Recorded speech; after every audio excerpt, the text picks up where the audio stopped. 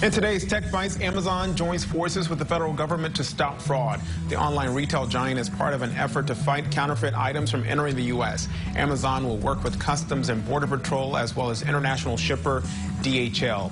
Chappelle's show has been pulled from Netflix, and Dave Chappelle says it was done at his request. In a lengthy Instagram post, the comedian urged fans to boycott the show. Chappelle said he signed a bad contract and never got paid by Viacom CBS when he walked away from the show.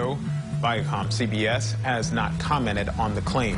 And finally, Taylor Swift fans may have been up overnight watching her new concert film, Folklore. The Long Pond studio sessions just dropped on Disney Plus.